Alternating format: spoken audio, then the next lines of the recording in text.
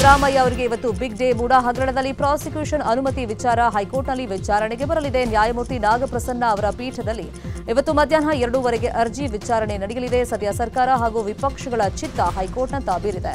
ಸಿದ್ದರಾಮಯ್ಯ ಪರವಾಗಿ ಹಿರಿಯ ವಕೀಲ ಅಭಿಷೇಕ್ ಮನು ಸಿಂಗ್ ವಿವಾದವನ್ನು ಮಾಡಿದ್ದಾರೆ. ಸ್ನೇಹಮಯಿ ಕೃಷ್ಣ ಪರ ವಕೀಲ ರಾಘವನ್ ಸುದೀರ್ಘವಾಗಿ ಪ್ರತಿವಾದವನ್ನು ಮಂಡಿಸಿದ್ದಾರೆ. ಎಜಿ ಶಶಿಕಿರಣ್ ಶೆಟ್ಟಿ ಇವತ್ತು ವಾದವನ್ನ ಮಂಡಿಸಲಿದ್ದಾರೆ. ಡಿಸಿಎಂ ಡಿಕೆ ಶಿವಕುಮಾರ್ ಅಮೆರಿಕ ಪ್ರವಾಸದಲ್ಲಿದ್ದಾರೆ. ಅಮೆರಿಕ ಅಧ್ಯಕ್ಷೀಯ ಚುನಾವಣೆಗೆ ಸ್ಪರ್ಧಿಸಿರುವಂತಹ ಕಮಲಾ ಹ್ಯಾರಿಸ್ ಪರವಾಗಿ ಡಿಕೆಶಿ ಪ್ರಚಾರ ಮಾಡುವಂತಹ ಸಾಧ್ಯತೆ ಇದೆ. ಕಮಲಾ ಹ್ಯಾರಿಸ್ ಪರವಾಗಿ ಪ್ರಚಾರ ಮಾಡೋದಕ್ಕೆ ಅನಿವಾಸಿ ಭಾರತೀಯರು ಅಮೆರಿಕದಲ್ಲಿರುವಂತಹ ಕನ್ನಡಿಗರ ಮತವನ್ನ ಸೆಳೆಯೋದಕ್ಕೆ ಡಿಕೆಶಿ ಅಮೆರಿಕಾಗೆ ತೆರಳಿದ್ದಾರೆ ಅಂತ ಹೇಳಲಾಗ್ತಾ ಇದೆ. ಚಾಮರಾಜನಗರ ನಗರಸಭೆಯ ಅಧ್ಯಕ್ಷ ಉಪಾಧ್ಯಕ್ಷ ಸ್ಥಾನಗಳಿಗೆ ಇವತ್ತು ಚುನಾವಣೆ ನಿಗದಿಯಾಗಿದೆ. ಮೂವತ್ತೊಂದು ಸದಸ್ಯರು ಇರುವಂತಹ ನಗರಸಭೆಯಲ್ಲಿ ಬಿಜೆಪಿಯ ಹದಿನೈದು, ಕಾಂಗ್ರೆಸ್ನ ಎಂಟು ಹಾಗೆಯೇ ಎಸ್ಡಿಪಿಐ ಆರು, ಬಿಎಸ್ಪಿ ಒಂದು ಹಾಗೂ ಪಕ್ಷೇತರ ಒಬ್ಬ ಸದಸ್ಯರಿದ್ದಾರೆ. ಕಾಂಗ್ರೆಸ್ ಹಾಗೂ ಎಸ್ಡಿಪಿಐ ಹೊಂದಾಣಿಕೆ ಮಾಡಿಕೊಂಡು ಅಧಿಕಾರದ ಗದ್ದುಗೆ ಹಿಡಿಯೋದಕ್ಕೆ ಪ್ಲಾನ್ ಅನ್ನ ಮಾಡಿಕೊಂಡಿವೆ. ಇನ್ನು ಮನೆ ಊಟ ಕೋರಿ ದರ್ಶನ್ ಹೈಕೋರ್ಟ್ಗೆ ಸಲ್ಲಿಸಿರುವಂತಹ ಅರ್ಜಿ ವಿಚಾರಣೆ ಕೂಡ ಇವತ್ತೇ ನಡೆಯಲಿದೆ. ದರ್ಶನ್ ಮನೆಯೂಟ ನೀಡೋದಕ್ಕೆ ನಿರಾಕರಿಸಿ ಅಧಿಕಾರಿಗಳು ವರದಿಯನ್ನು ಸಲ್ಲಿಸಿದ್ದಾರೆ. ಪರಪ್ಪನ ಅಗ್ರಹಾರ ಜೈಲು ಅಧಿಕಾರಿಗಳಿಂದ ಈಗಾಗಲೇ ಕೋರ್ಟ್ಗೆ ವರದಿ ಸಲ್ಲಿಕೆ ಆಗಿದೆ. ಇನ್ನೊಂದು ಕಡೆ ನಟ ದರ್ಶನ್ ಪರ ವಕೀಲರು ಇವತ್ತು ಜಾಮೀನು ಅರ್ಜಿ ಹಾಕುವಂತಹ ಸಾಧ್ಯತೆಗಳಿವೆ. ಈಗಾಗಲೇ ಚಾರ್ಜ್ ಶೀಟ್ ಹಾಕಿರುವಂತಹ ಕಾರಣಕ್ಕೆ ಜಾಮೀನು ಕೋರಿ ಅರ್ಜಿ ಸಲ್ಲಿಕೆಗೆ ಸಿದ್ಧತೆಯನ್ನ ಮಾಡಿಕೊಳ್ಳಲಾಗಿದೆ. ಇವತ್ತು ಅಥವಾ ನಾಳೆ ವಕೀಲರ ಮೂಲಕ ದರ್ಶನ್ ಬೇಲ್ಗೆ ಅರ್ಜಿಯನ್ನ ಸಲ್ಲಿಸಲಿದ್ದಾರೆ. ಹುಬ್ಬಳ್ಳಿಯ ಈದ್ಗಾ ಮೈದಾನದಲ್ಲಿ ಪ್ರತಿಷ್ಠಾಪನೆ ಆಗಿರುವಂತಹ ಗಣೇಶನನ್ನ ಇವತ್ತು ವಿಸರ್ಜನೆ ಮಾಡಲಾಗುತ್ತೆ. ಈದ್ಗಾ ಮೈದಾನ ಗಣೇಶ ವಿಸರ್ಜನಾ ಕಾರ್ಯಕ್ರಮದಲ್ಲಿ ಬಿಜೆಪಿಯ ಎಂಎಲ್ಸಿ, ಸಿಟಿ ರವಿ ಸೇರಿದಂತೆ ಮತ್ತಿತರರು ಪಾಲ್ಗೊಳ್ಳುತ್ತಾರೆ ಮಧ್ಯಾಹ್ನ ಹನ್ನೆರಡು ಗಂಟೆಗೆ ಈದ್ಗಾ ಮೈದಾನದಿಂದ ಮೆರವಣಿಗೆ ಆರಂಭವಾಗುತ್ತೆ. ಇಂದಿರಾ ಗ್ಲಾಸ್ ಹೌಸ್ನ ಬಾವಿಯಲ್ಲಿ ಗಣೇಶ ವಿಸರ್ಜನೆ ನೆರವೇರಲಿದ್ದು ಬಿಗಿ ಭದ್ರತೆಯನ್ನ ಕೈಗೊಳ್ಳಲಾಗಿದೆ. ಬೆಂಗಳೂರಿನ ರಸ್ತೆ ಗುಂಡಿ ಮುಚ್ಚೋದಕ್ಕೆ ಬೆಂಗಳೂರು ನಗರಾಭಿವೃದ್ಧಿ ಸಚಿವ ಡಿಕೆ ಶಿವಕುಮಾರ್ ಬಿಬಿಎಂಪಿ ಅಧಿಕಾರಿಗಳಿಗೆ ಡೆಡ್ ಲೈನ್ ಅನ್ನು ಕೊಟ್ಟಿದ್ದಾರೆ. ಸೆಪ್ಟೆಂಬರ್ ಹದಿನೈದರ ಒಳಗಾಗಿ ರಸ್ತೆ ಗುಂಡಿ ಮುಚ್ಚದೇ ಇದ್ರೆ ಆಯಾ ವಾರ್ಡ್ನ ಎಂಜಿನಿಯರ್ಗಳೇ ನೇರ ಹೊಣೆ ಆಗಲಿದ್ದಾರೆ. ತಲೆದಂಡ ಫಿಕ್ಸ್ ಅಂತ ಹೇಳಲಾಗಿದೆ. ಬೆಂಗಳೂರಿನ ಬ್ಯಾಟ್ರಾಯನಪುರದಲ್ಲಿ ಬಾಂಬ್ ಐದನೇ ಭಾವನನ್ನ ಭೀಕರವಾಗಿ ಹತ್ಯೆಗೈದಿದ್ದಾನೆ. ಮಲ್ಲೇಶ್ವರಂ ಸಬ್ ರಿಜಿಸ್ಟ್ರಾರ್ ಆಫೀಸಲ್ಲಿ ಕೆಲಸ ಮಾಡ್ತಾ ಇದ್ದ ವೆಂಕಟಾಚಲಪತಿಯನ್ನ ಆತನ ಬಾಮೈದ ವಿಶ್ವನಾಥ್ ಚಾಕುವಿನಿಂದ ಇರಿದು ಕೊಲೆ ಮಾಡಿದ್ದಾನೆ. ಆಸ್ತಿ ವಿಚಾರಕ್ಕಾಗಿ ಕೊಲೆ ಮಾಡಿರುವಂತಹ ಶಂಕೆ ವ್ಯಕ್ತವಾಗಿದೆ.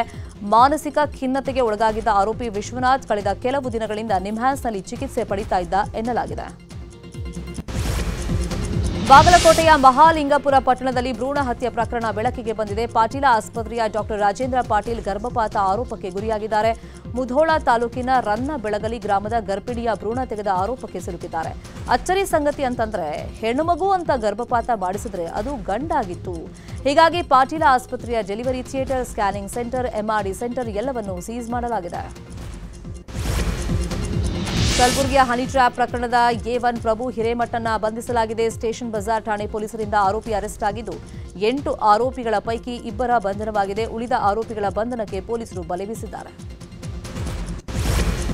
ಚನ್ನಪಟ್ಟ ಉಪಚುನಾವಣೆ ಹತ್ತಿರವಾಗ್ತಾ ಇದ್ದಂಗೆ ಜೆಡಿಎಸ್, ಬಿಜೆಪಿ ಜೊತೆಗೆ ಕಾಂಗ್ರೆಸ್ ಕೂಡ ಫುಲ್ ಅಲರ್ಟ್ ಆಗಿದೆ. ಕಾಂಗ್ರೆಸ್ ಮುಖಂಡ ರಘುನಂದನ್ ರಾಮಣ್ಣ, ಚನ್ನಪಟ್ಟಣದ ಚಿಕ್ಕಮಳೂರು ಸಮೀಪ ಕಾಂಗ್ರೆಸ್ ನೂತನ ಕಚೇರಿ ಉದ್ಘಾಟಿಸುವ ಮೂಲಕ ಕಾಂಗ್ರೆಸ್ ಸಂಘಟನೆಯನ್ನ ಮತ್ತಷ್ಟು ಚುರುಕುಗೊಳಿಸಿದ್ದಾರೆ.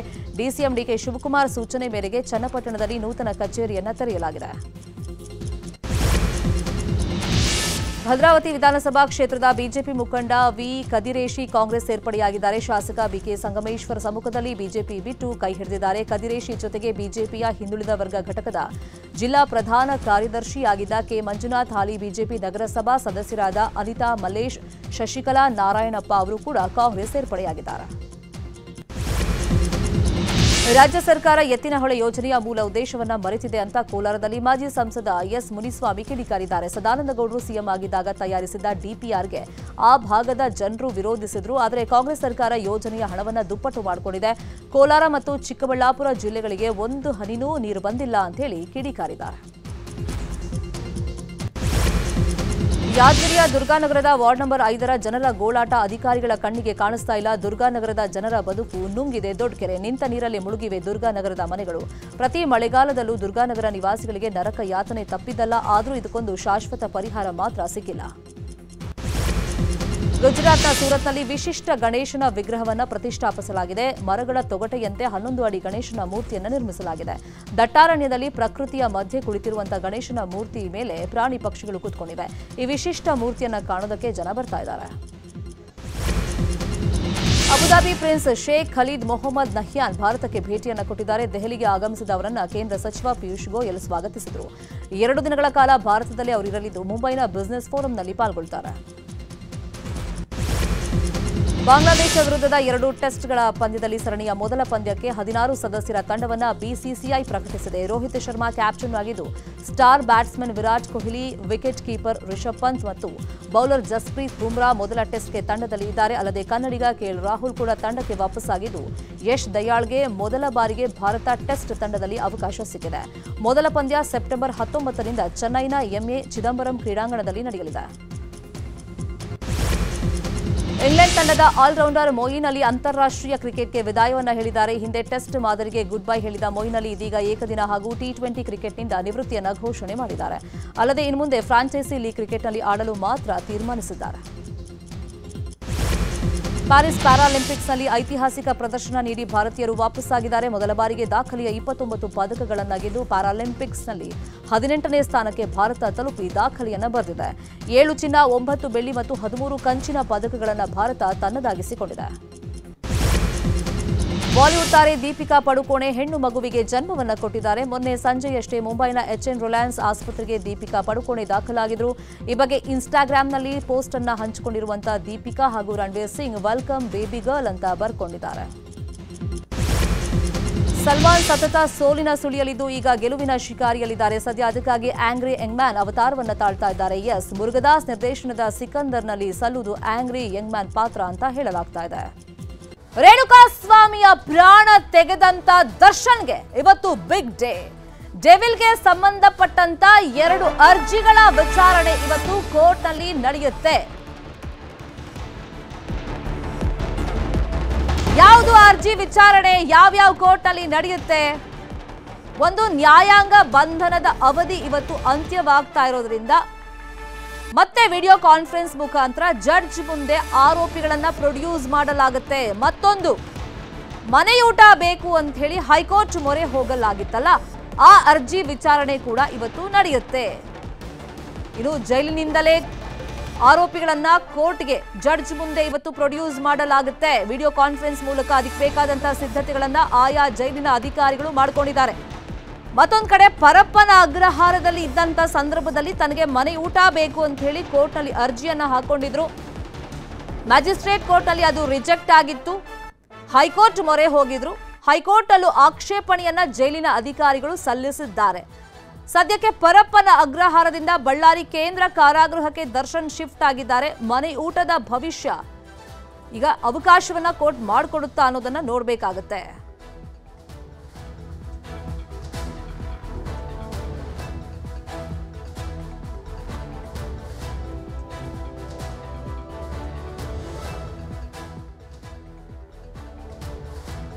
ಇದೇ ವಿಚಾರವಾಗಿ ಇನ್ನಷ್ಟು ಡೀಟೇಲ್ ಆಗಿ ಇನ್ಫಾರ್ಮೇಶನ್ ಅನ್ನು ಕೊಡ್ತಾ ಹೋಗೋದಕ್ಕೆ ನೇರ ಸಂಪರ್ಕದಲ್ಲಿ ಕನೆಕ್ಟ್ ಆಗಿದ್ದಾರೆ ಬಳ್ಳಾರಿಯಿಂದ ನಮ್ಮ ರಿಪೋರ್ಟರ್ ಬಸವರಾಜು. ಬಸವರಾಜು, ಇವತ್ತು ದರ್ಶನ್ಗೆ ಎರಡು ವಿಚಾರಣೆ ಇರೋದ್ರಿಂದ ಕೋರ್ಟ್ನಲ್ಲಿ ಬಿಗ್ ಡೇನೆ ಇಲ್ಲ ಅಂತಲ್ಲ. ಒಂದು ನ್ಯಾಯಾಂಗ ಬಂಧನ ಅಂತ್ಯವಾಗುತ್ತೆ, ಮತ್ತೆ ವಿಸ್ತರಣೆ ಆಗೋದಂತೂ ಫಿಕ್ಸ್ ಅದರಲ್ಲಿ ಎರಡು ಮಾತಿಲ್ಲ. ಇನ್ನೊಂದು, ಪರಪ್ಪನ ಅಗ್ರಹಾರದಲ್ಲಿದ್ದಾಗ ಮನೆಯೂಟ ಬೇಕು ಅಂತ ಕೇಳಿದ್ದು ಈಗ ಬಳ್ಳಾರಿ ಜೈಲಿಗೆ ಶಿಫ್ಟ್ ಆಗಿದ್ದಾರೆ. ಸೊ ಹಾಗಾಗಿ ಆಕ್ಷೇಪಣೆ ಸಲ್ಲಿಕೆ ಆದರೆ ಏನಾಗುತ್ತೆ? ಪರ್ಮಿಷನ್ ಕೊಟ್ಟರೆ ಮನೆಯೂಟ ಪ್ರೊವೈಡ್ ಮಾಡೋಕ್ಕೆ ಬೆಂಗಳೂರಿಂದ ಕಷ್ಟ ಆಗುತ್ತೆ.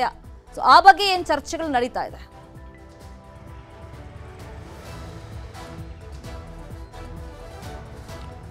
ಶರ್ಮಿತಾ ಶೆಟ್ಟಿ ಇವತ್ತು ನಟ ದರ್ಶನ್ ಅವರಿಗೆ ಮಹತ್ವದ ದಿನ ಅಂತ ಹೇಳ್ಬೋದು. ಯಾಕೆಂತಂದರೆ ಇವತ್ತು ಎರಡು ವಿಚಾರಗಳು ಕೂಡ ಕೋರ್ಟಲ್ಲಿ ಕೂಡ ಇರ್ತಕ್ಕಂಥದ್ದು. ಒಂದು, ಅವರ ನ್ಯಾಯಾಂಗ ಬಂಧನ ಅವಧಿ ಇವತ್ತಿಗೆ ಮುಕ್ತಾಯ ಇರ್ತಕ್ಕಂಥ ಹಿನ್ನೆಲೆಯಲ್ಲಿ ಅವರನ್ನು ಬಳ್ಳಾರಿಯ ಕೇಂದ್ರ ಕಾರಾಗೃಹದ ಐ ಸೆಕ್ಯೂರಿಟಿ ಸೆಲ್, ಸೆಲ್ಲಲ್ಲಿರ್ತಕ್ಕಂಥ ವಿಡಿಯೋ ಕಾನ್ಫರೆನ್ಸ್ ಮೂಲಕ ಅವರನ್ನು ನ್ಯಾಯಾಲಯಕ್ಕೆ ಹಾಜರುಪಡಿಸಲಾಗುತ್ತೆ. ಬಹುತೇಕವಾಗಿ ನ್ಯಾಯಾಂಗ ಬಂಧನ ಅವಧಿ ಕೂಡ ವಿಸ್ತರಣೆ ಆಗ್ತಕ್ಕಂಥ ಸಾಧ್ಯತೆಗಳು ಕೂಡ ಹೆಚ್ಚಿರ್ತಕ್ಕಂಥದ್ದು.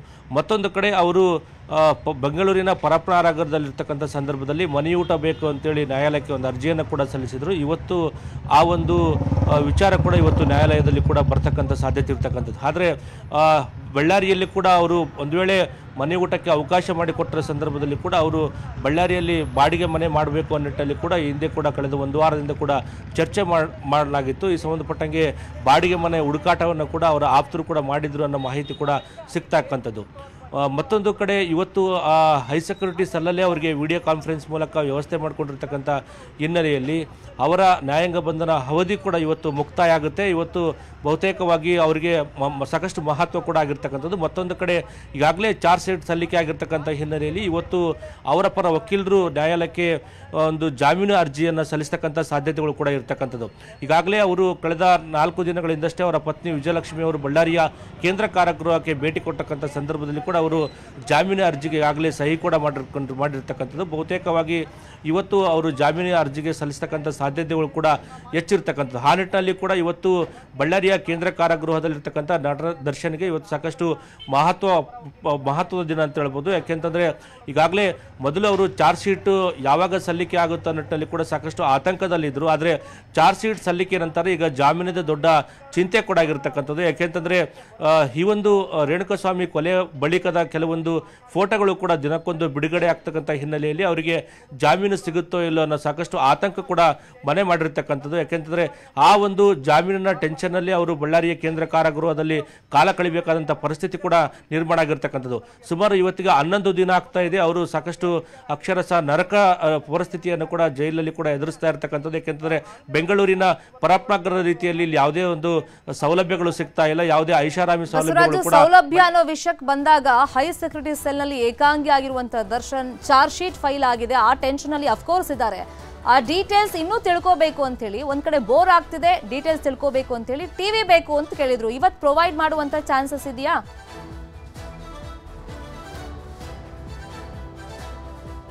ಖಂಡಿತ ಕಳೆದ ಒಂದು ವಾರದಿಂದ ಕೂಡ ಅವರು ಐ ಸೆಕ್ಯೂರಿಟಿ ಸೆಲ್ಲಲ್ಲಿ ನನಗೆ ಸಲಲ್ಲಿ ಸೆಲ್ಲಲ್ಲಿ ಟಿ ವಿಯನ್ನು ಅಳವಡಿಸಬೇಕು ಅನ್ನೋ ನಿಟ್ಟಿನಲ್ಲಿ ಕೂಡ ಸಾಕಷ್ಟು ಜೈಲಾಧಿಕಾರಿಗಳಿಗೆ ಒಂದು ಬೇಡಿಕೆಯನ್ನು ಕೂಡ ಇಟ್ಟಿರ್ತಕ್ಕಂಥದ್ದು. ಅವರ ಬೇಡಿಕೆ ಇದುವರೆಗೂ ಕೂಡ ಈಡೇರಿಲ್ಲ. ಯಾಕೆಂತಂದರೆ ಟಿ ವಿ ಬಳ್ಳಾರಿ ಕೇಂದ್ರ ಕಾರಾಗೃಹದಲ್ಲಿ ಯಾವುದೇ ಟಿ ವಿಗಳು ಕೂಡ ಸ್ಟಾಕ್ ಇರಲಿಲ್ಲ. ಇರ್ತಕ್ಕಂಥ ಒಂದು ಟಿ ವಿ ಅದು ರಿಪೇರಿ ಕೂಡ ಇತ್ತು. ಆ ಒಂದು ಟಿ ವಿಯನ್ನು ಕೂಡ ಈಗಾಗಲೇ ರಿಪೇರಿಯನ್ನು ಕೂಡ ಜೈಲಾಧಿಕಾರಿಗಳು ಕೂಡ ಮಾಡಿಸಿರ್ತಕ್ಕಂಥದ್ದು. ಅದೇ ಟಿ ವಿಯನ್ನು ಕೂಡ ಇವತ್ತು ಆ ಸೆಲ್ಲಿಗೆ ಅಳವಡಿಸ್ತೀವಿ ಅನ್ನೋ ಮಾಹಿತಿಯನ್ನು ಕೂಡ ಸ್ವತಃ ಜೈಲಾಧಿಕಾರಿಗಳಿಗೆ ಕೊಟ್ಟಿರ್ತಕ್ಕಂಥದ್ದು. ಏಕೆಂದರೆ ನಟ ದರ್ಶನ್ ಅವರಿಗೆ ಹೊರಗಡೆ ವಿದ್ಯಮಾನ ಯಾವುದೂ ಕೂಡ ಗೊತ್ತಾಗ್ತಾ ಇಲ್ಲ. ಅದರಲ್ಲೂ ವಿಶೇಷವಾಗಿ ಈ ಒಂದು ಕೊಲೆ ಪ್ರಕರಣದ ಚಾರ್ಜ್ ಶೀಟ್ ಆಗಿರ್ಬೋದು ಅಥವಾ ಇನ್ನಿತರ ವಿಚಾರಗಳನ್ನು ತಿಳಿದುಕೊಳ್ಳಲಿಕ್ಕೆ ಅವರಿಗೆ ಯಾವುದೇ ಒಂದು ಸಂಪರ್ಕ ಸಾಧನ ಕೂಡ ಇಲ್ಲ. ಆ ನಿಟ್ಟಿನಲ್ಲಿ ಕೂಡ ಅವರು ಟಿ ವಿ ಅಳವಡಿಸಿದ್ರೆ ಮಾಧ್ಯಮಗಳ ಮೂಲಕ ನಾನು ಹೆಚ್ಚಿನ ಮಾಹಿತಿಯನ್ನು ಕೂಡ ತಿಳ್ಕೊಳ್ಬೋದು ಆ ನಿಟ್ಟಿನಲ್ಲಿ ಕೂಡ ಅವರು ಟಿವಿಗಾಗಿ ಕೂಡ ಬೇಡಿಕೆ ಇಟ್ಟಿರ್ತಕ್ಕಂಥದ್ದು. ಕಳೆದ ಮೂರು ದಿನಗಳ ಹಿಂದೆ ಅವರ ಪತ್ನಿ ವಿಜಯಲಕ್ಷ್ಮಿ ಕೇಂದ್ರ ಕಾರಾಗೃಹಕ್ಕೆ ಭೇಟಿ ಕೊಡ್ತಕ್ಕಂಥ ಸಂದರ್ಭದಲ್ಲಿ ಕೂಡ ಸ್ವತಃ ಜೈಲು ಅಧೀಕ್ಷಕರನ್ನು ಭೇಟಿಯಾಗಿ ನನ್ನ ಪತಿ ಸೆಲ್ಲಿಗೆ ಟಿವಿಯನ್ನು ಅಳವಡಿಸ್ ಅಳವಡಿಸಬೇಕು ಅನ್ನೋ ನಿಟ್ಟಿನಲ್ಲಿ ಕೂಡ ಅವರು ಕೂಡ ಮನವಿಯನ್ನು ಕೂಡ ಮಾಡಿಕೊಂಡಿರ್ತಕ್ಕಂಥದ್ದು. ಆ ನಿಟ್ಟಿನಲ್ಲಿ ಕೂಡ ಇಲ್ಲಿನ ಜೈಲಧಿಕಾರಿಗಳು ಕೂಡ ಬೆಂಗಳೂರಿನ ಎ ಡಿ ಜಿ ಪಿ ಕಚೇರಿಗೆ ಒಂದು ಅನುಮತಿಯನ್ನು ಕೂಡ ಕೇಳಿರ್ತಕ್ಕಂಥದ್ದು. ವಿಚಾರಣೆ ಕೈದಿಗೆ ಟಿವಿಯನ್ನು ಕೊಡಲಿಕ್ಕೆ ಅವಕಾಶ ಕೂಡ ನಿಯಮಾವಳಿಯಲ್ಲಿ ಇರತಕ್ಕಂಥ ಹಿನ್ನೆಲೆಯಲ್ಲಿ ಅವರಿಗೆ ಬಹುತೇಕವಾಗಿ ಇವತ್ತು ಅವರ ಸೆಲ್ಲಿಗೆ ಟಿವಿ ಅಳವಡಿಸತಕ್ಕಂಥ ಸಾಧ್ಯತೆ ಹೆಚ್ಚಿರ್ತಕ್ಕಂಥದ್ದು. Sharmita. Fine thank you Basavaraj. CM ಸಿದ್ದರಾಮಯ್ಯಗೆ MUDA ಪ್ರಾಸಿಕ್ಯೂಷನ್ನ ಟೆನ್ಷನ್ ಇವತ್ತು ಜಾಸ್ತಿನೇ ಇದೆ. ಇವತ್ತು ಅನುಮತಿ ರದ್ದಾಗುತ್ತಾ ಅಥವಾ ತನಿಖೆಗೆ ಗ್ರೀನ್ ಸಿಗ್ನಲ್ ಅನ್ನ ಕೊಡುತ್ತಾ ಹೈಕೋರ್ಟ್ ಅಂತ ಕುತೂಹಲ ಅಫ್ಕೋರ್ಸ್ ರಾಜಕೀಯ ವಲಯದಲ್ಲೂ ಇದೆ, ರಾಜ್ಯ ಜನರಲ್ಲೂ ಇದೆ. ಅದರಲ್ಲೂ ಖುದ್ದಾಗಿ ಸಿಎಂ ಸಿದ್ದರಾಮಯ್ಯ ಅವರಿಗೆ ತುಸು ಹೆಚ್ಚಾಗಿ ಇದೆ. ಹೈಕೋರ್ಟ್ ಅಲ್ಲಿ ಇವತ್ತು ಮಧ್ಯಾಹ್ನ ಎರಡೂವರೆಗೆ ಮತ್ತೆ ಅರ್ಜಿ ವಿಚಾರಣೆಯನ್ನ ಕೈಗೆತ್ತಿಕೊಳ್ಳಲಾಗುತ್ತೆ. ಇವತ್ತು ಸರ್ಕಾರದ ಕಾರ್ಯದರ್ಶಿ ಪರ ಎಜಿ ಶಶಿಕಿರಣ್ ಶೆಟ್ಟಿ ತಮ್ಮ ವಾದವನ್ನ ಮಾಡ್ತಾರೆ. ಸೆಪ್ಟೆಂಬರ್ ಹನ್ನೆರಡಕ್ಕೆ ಮತ್ತೆ ಸಿಎಂ ಪರ ವಕೀಲ ಅಭಿಷೇಕ್ ಮನು ಸಿಂಘ್ವಿ ಅವರು ವಾದವನ್ನ ಮುಂದುವರಿಸ್ತಾರೆ. ಈಗಾಗಲೇ ಪ್ರತಿವಾದವನ್ನ ಮುಗಿಸಿದ್ದಾರೆ. ದೂರುದಾರರ ಪರ ವಕೀಲರು.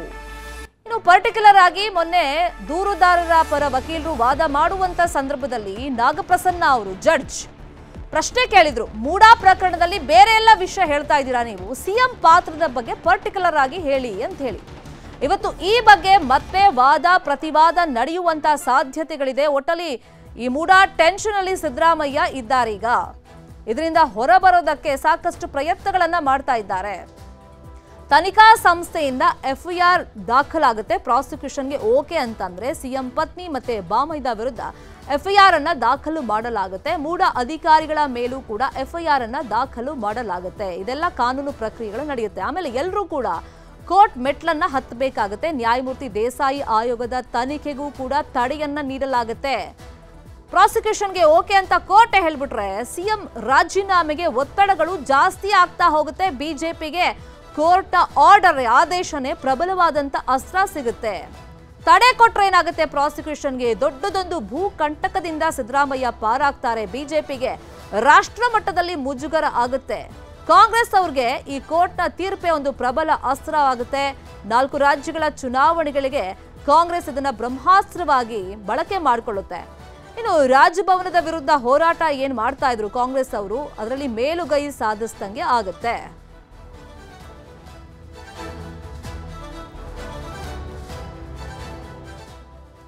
ಹೈಕೋರ್ಟ್ನಲ್ಲಿ ಇವತ್ತು ಮೂಡಾ ವಿಚಾರಣೆ ಹಿನ್ನೆಲೆಯಲ್ಲಿ ಹೈಕೋರ್ಟ್ ಅತ್ತ ಸಿದ್ದರಾಮಯ್ಯ ಅವರ ಚಿತ್ತ ಇದೆ. ಇಡೀ ದಿನ ಅದಕ್ಕೋಸ್ಕರನೇ ಸಿದ್ದರಾಮಯ್ಯ ಅವರು ಕಾಯ್ದಿರಿಸಿದ್ದಾರೆ. ಬೇರೆ ಯಾವ ಕಾರ್ಯಕ್ರಮಗಳನ್ನು ಕೂಡ ಇವತ್ತು ಅವರು ಹಮ್ಮಿಕೊಂಡಿಲ್ಲ, ನಿಗದಿ ಮಾಡಿಕೊಂಡಿಲ್ಲ. ಲಾಸ್ಟ್ ಟೈಮು ಅಷ್ಟೇ ಮೈಸೂರಿಗೆ ಹೋಗಬೇಕಾಗಿತ್ತು. ಆದರೆ ಹೈಕೋರ್ಟ್ನ ವಿಚಾರಣೆ ವಾದ ಪ್ರತಿವಾದ ನೋಡಿಕೊಂಡು ಆಮೇಲೆ ಮೈಸೂರಿಗೆ ಅವರು ತೆರಳಿದ್ರು. ಇವತ್ತು ಅಷ್ಟೇ. ಯಾವ ಕಾರ್ಯಕ್ರಮಗಳನ್ನು ಕೂಡ ನಿಗದಿ ಮಾಡಿಕೊಂಡಿಲ್ಲ ಸಿಎಂ. ವಕೀಲ ಅಭಿಷೇಕ್ ಮನು ಸಿಂಘ್ವಿ ಸೇರಿದಂತೆ ಕಾನೂನು ತಜ್ಞರ ಜೊತೆಯಲ್ಲಿ ನಿರಂತರವಾಗಿ ಸಂಪರ್ಕದಲ್ಲಿದ್ದಾರೆ, ಚರ್ಚೆಗಳನ್ನ ಮಾಡ್ತಲೇ ಇದ್ದಾರೆ. ಪೊನ್ನಣ್ಣ ನೇತೃತ್ವದ ಕಾನೂನು ತಜ್ಞರ ಜೊತೆ ಸಮಾಲೋಚನೆಯನ್ನ ಮಾಡಿದ್ದಾರೆ.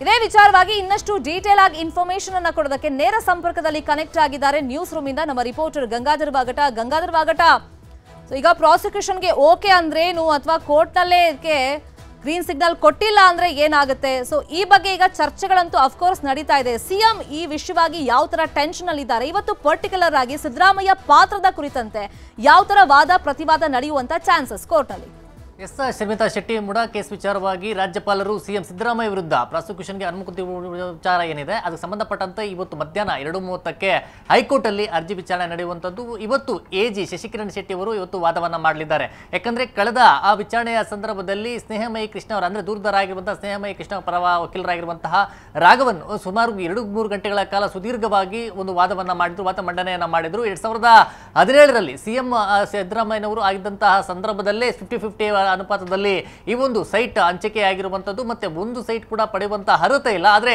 ಹದಿನಾಲ್ಕು ಸೈಟ್ಗಳನ್ನು ಪಡೆಯಲಾಗಿದೆ. ಇದರಲ್ಲಿ ಆ ಸಿದ್ದರಾಮಯ್ಯವರ ಲಿಂಕ್ ಇದೆ ಅನ್ನೋ ರೀತಿಯಲ್ಲಿ ಅವರು ನ್ಯಾಯಮೂರ್ತಿಗಳಿಗೆ ಮನವರಿಕೆ ಮಾಡುವಂಥ ನಿಟ್ಟಿನಲ್ಲಿ ವಾದವನ್ನು ಮಾಡಿದರು. ಈಗ ಅದು ವಿಚಾರಣೆ ಇವತ್ತಿಗೆ ಮುಂದೂಡಿಕೆ ಆಗಿತ್ತು. ಯಾಕಂದರೆ ಅವತ್ತು ಎ ಜಿ ಶಶಿಕಿರಣ್ ಶೆಟ್ಟಿ ಅವರು ಸೋಮವಾರಕ್ಕೆ ನಮಗೆ ಅವಕಾಶವನ್ನು, ಕಾಲಾವಕಾಶವನ್ನು ಕೊಡಬೇಕು ಅಂತ ಕೇಳಿಕೊಂಡಿದ್ದ ಹಿನ್ನೆಲೆಯಲ್ಲಿ ಇವತ್ತು ಮಧ್ಯಾಹ್ನ ಎರಡು ಮೂವತ್ತಕ್ಕೆ ವಿಚಾರಣೆಯನ್ನು ಮುಂದೂಡಿಕೆ ಮಾಡಿದ್ದಾರೆ. ಇವತ್ತು ಎರಡು ಮೂವತ್ತಕ್ಕೆ ಸುದೀರ್ಘವಾಗಿ ಇವತ್ತಿನ ಕಾಲಾವಕಾಶದಲ್ಲಿ ಶಶಿಕಿರಣ್ ಶೆಟ್ಟಿ ಅವರು ವಾದವನ್ನು ಮಾಡ್ತಾರೆ. ಮತ್ತೆ ಏನು ಸಿದ್ದರಾಮಯ್ಯ ಪರ ವಕೀಲರಾಗಿರುವಂತಹ ಅಭಿಷೇಕ್ ಮನು ಅವರು ಕೂಡ ವಾದಕ್ಕೆ ಒಂದು ಅವಕಾಶವನ್ನು ಕೇಳಿರುವಂಥದ್ದು. ಅವ್ರಿಗೂ ಕೂಡ ಅವಕಾಶಕ್ಕೆ ಪುನಸ್ ಪುರಸ್ಕಾರ ಮಾಡಿರುವಂಥದ್ದು. ನ್ಯಾಯಮೂರ್ತಿ ಆಗಿರುವಂತಹ ನಾಗಪ್ರಸನ್ನ ಅವರು ಕೂಡ ಈ ಬಗ್ಗೆ ಸುದೀರ್ಘವಾಗಿ ವಿಸ್ತೃತವಾದಂತಹ ಒಂದು ಇದರಲ್ಲಿ ಎಲ್ಲರ ಪಾ- ವಾರ ಪ್ರತಿವಾದ, ವಾದ ಮತ್ತು ಪ್ರತಿವಾದಗಳನ್ನು ಕೇಳ್ತಾ ಇರುವಂಥದ್ದು. ಈಗ ಅವರಿಗೆ ಮನು, ಅಭಿಷೇಕ್ ಮನು ಸಿಂಗ್ ಅವರಿಗೆ ಸುಮಾರು ಬಂದ ಹನ್ನೆರಡನೇ ತಾರೀಕಿಗೆ ಅವರಿಗೆ ಅವಕಾಶವನ್ನು ಕೊಟ್ಟಿದ್ದಾರೆ. ಮತ್ತೆ ಈ ಒಂದು ವಿಚಾರಕ್ಕೆ ಸಂಬಂಧಪಟ್ಟಂತೆ ಸಿದ್ದರಾಮಯ್ಯರ ಪಾತ್ರದ ವಿಚಾರವಾಗಿ ಅದರ ಆ- ವಾದದಲ್ಲಿ ಕೂಡ ಸಾಕಷ್ಟು ಕೇಳುವಂಥದ್ದು ಅಬ್ರಾಹಂ ಪರ ವಕೀಲರ ವಾದ ಒಂದು ಆಲ್ರೆಡಿ ಆಗಿದೆ. ಮತ್ತೆ ಸ್ನೇಹಮಯಿ ಕೃಷ್ಣ ಅವರ ಒಂದು ವಾದ ಆಗಿರುವಂಥದ್ದು ಮತ್ತೆ ರಾಜ್ಯಪಾಲರ ಪ ವಕೀಲರ ಏನಿದ್ದಾರೆ ಮತ್ತೆ ಅವರ ಒಂದು ವಾದ ಕೂಡ ಆಗಿರುವಂಥದ್ದು. ಈಗ ಎ ಜಿಯವರ ಒಂದು ವಾದ ಇವತ್ತು ಆಗುತ್ತೆ. ನಂತರ ಪ್ರಮುಖವಾಗಿ ಅಭಿಷೇಕ್ ಮನು ಸಿಂಗ್ ಅವರು ಸಿದ್ದರಾಮಯ್ಯ ಪರವಾಗಿ ಇವತ್ತು ಹನ್ನೆರಡನೇ ತಾರೀಕು ಅಥವಾ ಏನಾದರೂ ಕಾಲಾವಕಾಶ ಸಿಕ್ಕಂಥ ಸಂದರ್ಭದಲ್ಲಿ ಇವತ್ತೇ ಕೂಡ ಅವರು ಹಾಜರಾಗುವಂಥದ್ದು. ಮತ್ತೆ ಎಲ್ಲ ದೂರದಾರರು ಏನಿದ್ದಾರೆ ಅವರೆಲ್ಲ ಪರ ವಕೀಲರು ಹೈಕೋರ್ಟ್ ಅಲ್ಲಿ ಹಾಜರಾಗ್ತಾರೆ. ಮತ್ತೆ ಈ ಒಂದು ಏನಾಗುತ್ತೆ ಅಂತ ಅಂದ್ರೆ ಈ ಇದೇ ವಾರದಲ್ಲಿ ಆದೇಶ ಬರುವಂತಹ ಸಾಧ್ಯತೆಗಳಿದೆ. ಮತ್ತೆ ಹೈಕೋರ್ಟ್ ಅಲ್ಲಿ ಏನು ಬೆಳವಣಿಗೆಗಳಾಗುತ್ತೆ ಅನ್ನೋದು ಕೂಡ ಸಿದ್ದರಾಮಯ್ಯರಿಗೆ ಸಾಕಷ್ಟು ಒಂದು ಟೆನ್ಷನ್ ಇರುವಂಥದ್ದು ಇದೇ ನಿಟ್ಟಿನಲ್ಲಿ ಇವತ್ತು ಕಾನು ಪೊನ್ನಣ್ಣವರ ಒಂದು ಕಾನೂನು ತಜ್ಞರ ಒಂದು ಟೀಮ್ ಇದೆ. ಆ ಬಗ್ಗೆ ಕೂಡ ಅವರು ಚರ್ಚೆಗಳನ್ನು ಮಾಡ್ತಾ ಇರುವಂಥದ್ದು ಮತ್ತೆ ಅಭಿಷೇಕ್ ಮನು ಸಿಂಗ್ ಅವರ ಜೊತೆ ಕೂಡ ಅವರು ಹೆಚ್ಚು ಸಂಪರ್ಕದಲ್ಲಿರುವಂಥದ್ದು ಏನು ಬೆಳವಣಿಗೆಗಳಾಗುತ್ತೋ ನೋಡಿಕೊಂಡು ಅನಂತರ ಅವರು ಚಟುವಟಿಕೆಗಳಲ್ಲಿ ನಿರಂತರ ನಿರತರ ಆಗಿರುವಂಥ ನಿಟ್ಟಿನಲ್ಲಿ ಅವರು ಸಿದ್ಧರಾಗಿರುವಂಥದ್ದು Sharmita Shetty. Thank you Gangadhar.